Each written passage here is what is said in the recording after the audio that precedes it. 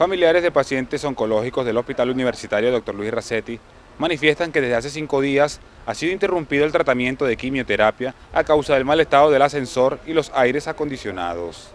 Que reciben quimioterapia, se han visto los procedimientos suspendidos y también su tratamiento de quimio, porque sin aire no se puede recibir el tratamiento, no se le hace Da, da, tristeza que después de estos niños padecer esta enfermedad tan infame que, que, la vida los ha afrontado a ellos, que al momento que ellos mueren sean bajados como un saquito o montados sobre una silla de ruedas porque no hay un ascensor con que bajar su cadáver hacia la mosca. Más de cinco días que han sido suspendidos los servicios de quimioterapia por falta de aire acondicionado. ¿Han muerto niños en esos cinco días?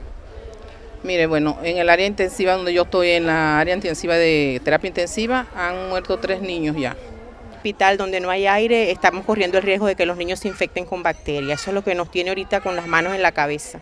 Eh, bueno, desde el jueves, viernes, sábado, domingo, lunes no se preparó quimio, martes no se preparó quimio, los niños que iban a procedimiento de punción, punción de la médula espinal tampoco se... O sea, ya empezaron los servicios a, a, a fallar o a... Los familiares de pacientes oncológicos se encuentran a la espera de una pronta respuesta por parte de las autoridades de salud del Estado para así evitar hechos que lamentar en la unidad oncológica infantil del Hospital Racetti.